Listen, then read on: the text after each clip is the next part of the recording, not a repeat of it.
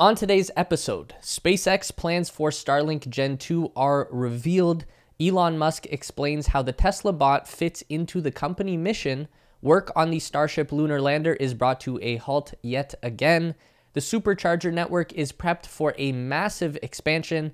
Tesla China production reaches new highs, and we've got even more updates on the 2022 Cybertruck. So let's get going.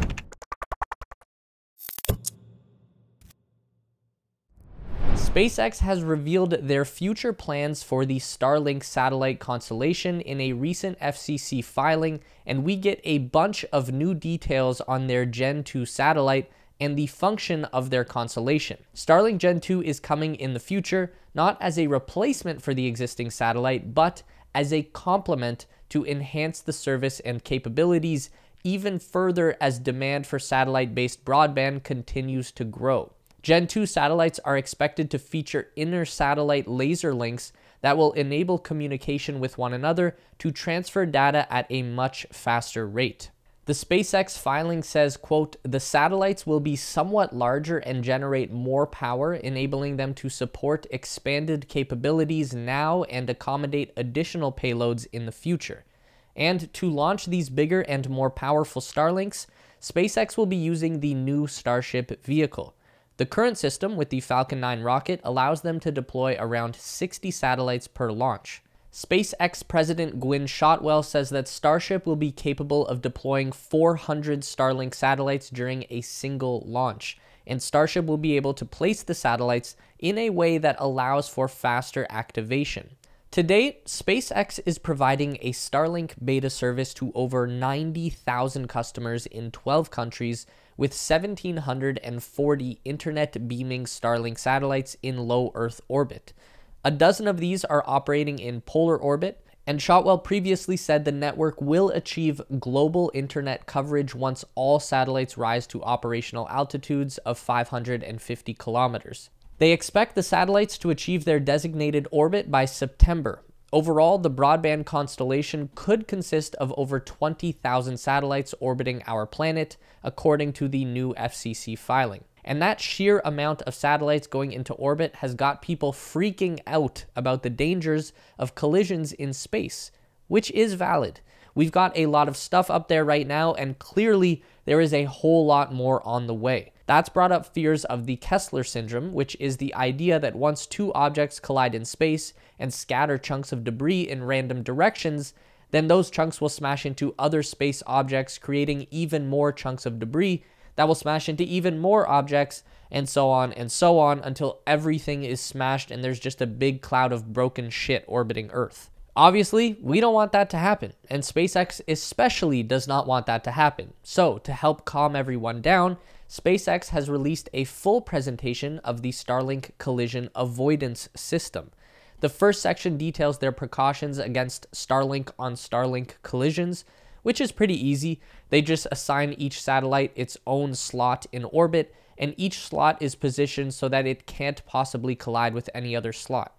Each Starlink maintains its slot with position keeping burns from the onboard ion thruster. But if anything unexpected comes up, then Starlink can also use that thruster for active collision avoidance, which is right now mostly used against space debris. The plan for Starlink on debris collision avoidance involves using data from the 18th Space Control Squadron, who perform radar tracking of all space debris. SpaceX uses an automated system that ingests data from the radar tracking to evaluate risks and plan avoidance maneuvers without human input. There are still people monitoring the system in case something unexpected comes up, but for the most part, Starlink already knows where the debris is and will get out of the way automatically.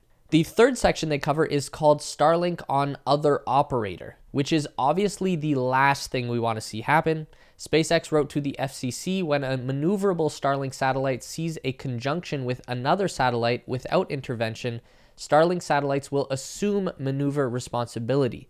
If another operator prefers to maneuver instead, Starlink satellites can be commanded to remain ballistic for the span of the conjunction event. Finally, there are measures that Starlink is taking to make sure that their own satellites do not become dead hunks of junk orbiting the Earth for decades on end. At the beginning of each deployment, the Starlink is released at a very low altitude, about 270 kilometers up. Only after passing a health check can the satellite rise to its orbital slot around 550 kilometers up. If the satellite does not pass the health check, then the orbital drag at 270 kilometers will quickly pull it down into the atmosphere where friction will incinerate the whole thing. The Starlink is specifically designed to fully disassemble on re-entry and pose zero risk of damage or injury to anything on Earth. Even if a Starlink makes it into the orbital slot and then dies completely, the orbit is still low enough that drag will pull it down in about 5 years, and then of course, SpaceX always has the option to manually decommission a Starlink by using the ion thrusters to push it out of orbit and into the atmosphere to burn up. By the way, if you like hearing us talk about things in space, then you would probably really like our new channel, The Space Race. Over there, we are exploring the wide world of space exploration. We just made a video on how nuclear rockets work. It's really crazy. Check out The Space Race and subscribe for more content that will blow your mind. Link down below in the description. Elon has already begun making some follow up comments on Tesla's humanoid robot that was announced at AI Day and he's answered one of the biggest questions that has been posed by a number of people How does this robot fit into the Tesla mission of transitioning the world to sustainable energy? The connection doesn't exactly seem clear. Elon has started to answer that point by tweeting, Bot is not directly on the path of accelerating a sustainable energy future, but it aspirationally improves the probability that the future is good. And it's good to see Elon steering the conversation in this direction. The biggest takeaway from the robot announcement really shouldn't be so much the robot itself. I mean, it'll probably be a great robot, but it's not exactly revolutionary tech at this point. We've got humanoid robots all over the place already, but it was really about the implications of this particular robot for the future of humanity. Unlike Disney or Boston Dynamic, Tesla isn't building this robot to be a big toy. This is purpose built to do work, to be a proxy for human labor, and that's going to be very important for the future. We know that Elon is very concerned about population collapse, and this robot seems to be his answer to that oncoming crisis. So, one of the biggest untruths that you'll hear is about overpopulation or surplus population. That might have been true in the past, and it might still be true in underdeveloped countries, but in first world nations, our population is shrinking by a significant amount. So, when we reach that time that all of the baby boomers are either dead or retired, we are going to have a hell of a lot less people available to participate in the workforce than we do today. The only solution to this problem will either have to be a decline in services or an increase in automation. And at that point, what better product could Tesla possibly have on the market than a fully automated humanoid with a machine learning brain that can do any task that a person used to do? Earlier this week, it was reported that Blue Origin had made good on a veiled threat to sue NASA over disagreements over the space agency's latest human landing system procurement decisions. Namely, that NASA decided not to proceed with Blue Origin's Blue Balls lander proposal, which was not only twice as expensive as SpaceX's Starship proposal, but also less technically sound and promised significantly less cost sharing. The lawsuit appears to have found just enough footing to disrupt the HLS program yet again. Thanks to the first protests of Blue Origin and Dynetics back in spring, NASA and SpaceX were forced to stop cooperative work on the Starship Moonlander for more than three months. Now, on August 19th, NASA has reportedly voluntarily paused work on the SpaceX HLS Moonlander contract and will continue to do so until November 1st, potentially adding another 74 days to the total delay on this project. On its own, the announcement is already fairly bizarre. For unknown reasons, Blue Origin apparently agreed to an expedited litigation schedule in return for NASA voluntarily pausing work on the HLS contract. That basically means that Blue Origin have agreed to rush through the process of a court case that they are supposedly trying to win. Per that expedited schedule, NASA's voluntary work halt will end on November 1st after several scheduled rounds of motions and cross motions from Blue Origin, SpaceX, and the Space Agency. It's unclear when a ruling might be expected, but the schedule published seems to imply that it would come sometime before NASA and SpaceX resume work.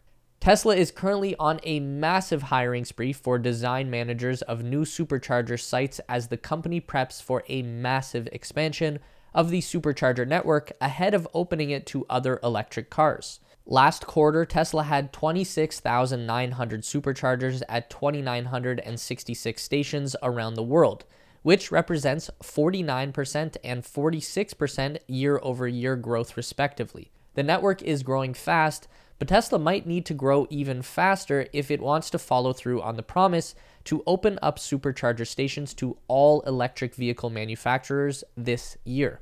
The automaker recently updated its map of planned charging stations with new locations and updated timelines. Tesla is enabling new routes across the country, but there also appears to be a focus on adding more capacity in urban areas. For example, both Los Angeles and Austin, which are popular markets for Tesla, will be seeing almost a doubling of their supercharger network in the near future. Tesla Giga Shanghai is reportedly now producing 1,000 Model Y units per day, officially exceeding its Model 3 output of 800 units per day. Tesla was reportedly able to accomplish this after shutting down the entire Model Y line for four days, which paved the way for updates to the facility. Tesla China is now saying that the Y type production has entered the high yield stage. As previously planned by Tesla, the main production of the Chinese Model Y in Q3 this year is for export to other countries. We know that made in China Model Ys have been delivered to Australia this year, and they are now beginning distribution in the European market as well, with the Model Y being spotted in Norway and Belgium. In July, Giga Shanghai exported a total of 24,347 Tesla vehicles abroad, though the Model 3 exports still outnumbered the Model Y significantly. Tesla China shipped 16,137 Model 3 units abroad and only 8,210 Model Y units. However, exports may see a shift over the following quarters as Giga Shanghai Model Y production outpaces the Model 3. All right, we know you guys are fiends for Cybertruck news, so here's the latest.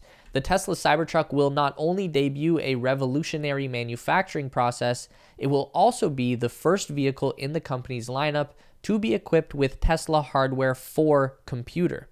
Hardware 4 is the successor to the self-driving computer that's currently being deployed to Tesla vehicles today. Comments about the updated computer were made by Elon Musk during the Q&A section at AI Day, which featured an in-depth discussion on the company's artificial intelligence program. Elon remarked that a hardware 4 with an all new FSD computer would be introduced in the future. This unit would be a step up in both performance and safety. According to Elon, the new self driving hardware will be introduced with the Tesla Cybertruck in a year or so. He later noted that with hardware 3, Tesla's self driving systems could perform about 300% safer than a human, but for hardware 4, this number could increase to 1000% more safe than the average human driver. And he also said that the new hardware would include upgraded camera modules, which would probably be those Samsung units that we heard about last month. So you could take that as an indication from Elon that the Cybertruck will be introduced in quote a year or so from right now, which would fit with their production timeline of sometime in 2022. But that's now got us wondering would Tesla hold back the Cybertruck until the new FSD hardware is ready? Could that lead to another delay if it doesn't all work according to plan? Or would early production Cybertrucks still come with version 3 and they make a shift to version 4 whenever it happens to be ready? It's a tough call, but what do you guys think? Let us know in the comments below. Also, for more Tesla news delivered straight to your inbox, make sure to subscribe to our Tesla Space newsletter. We keep you up to date on all things Elon Musk, Tesla, SpaceX, Neuralink, and Boring Company in one quick and fun to read package. Link in the description to sign up. It's theteslaspace.com. And make sure to drag our emails over into your primary inbox so we don't get lost in the promotions tab.